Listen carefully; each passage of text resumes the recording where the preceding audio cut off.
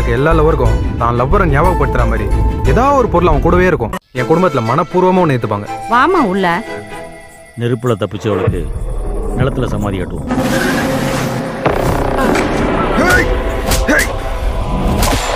என் மூஞ்சிலே முழிக்காத. எங்கேயா போய் தொலை. என் ட்ரீம் கேர்ள்ரா அவன். ஹைக்கூ கவிதை போல கண்கள் என்னை சூழ நெஞ்சம் பஞ்சாய் மேலே பறக்குதே. நீ வேற எவனையும் கல்யாணம் பண்ண முடியாது. துணிச்சலோட ஃபேஸ் பண்ற நிலைமையில இப்போ நாங்க இல்ல. ஒன்று அவனோட சேர்த்து வைக்க வேண்டியது இந்த அண்ணனோட கடமைமா எப்பவும் கூடவே இருப்பேன்.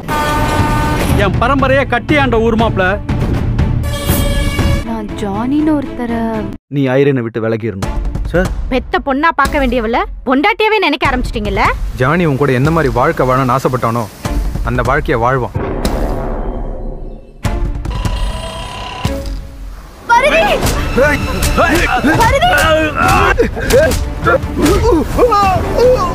என்னோட மொத்த காதலும் ஊ மேலதான் இருக்கு.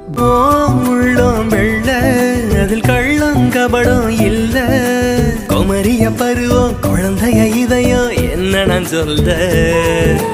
சீம கள்ளியே சிரிக்காத.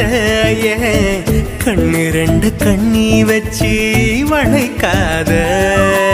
அந்த கல்யாணம் நடந்தே ஆகணும்.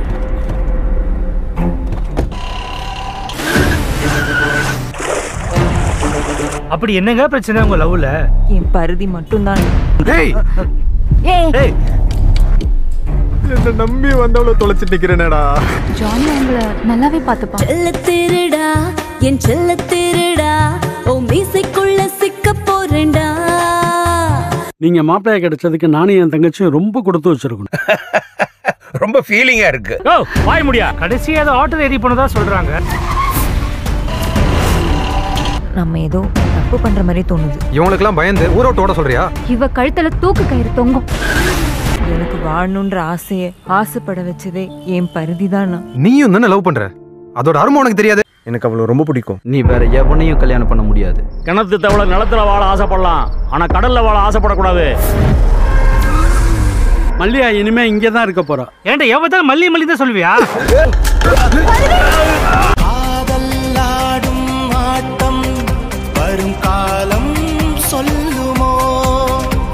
சந்தோஷத்துல மட்டும்தான் நான் இருக்கணும். இப்படி பொண்டாட்டி அமைகிறது அரிதுல நமக்கெல்லாம் இது ஒத்து வருமாடா.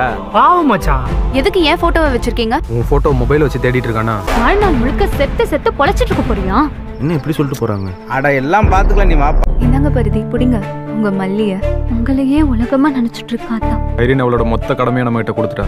ஆல் த பெஸ்ட் மச்சி. இவ்வளவு நாளா நீங்க சொன்னதை நாங்க கேட்டதெல்லாம் போதும். உங்க மேல மட்டும் இல்ல லவ் மேலேயே பெரிய மரியாதை வருது. எப்படியாவது வின் பண்ணிருங்க வருதியா அவர் ஒண்ணு நல்லா பார்த்துப்பார்.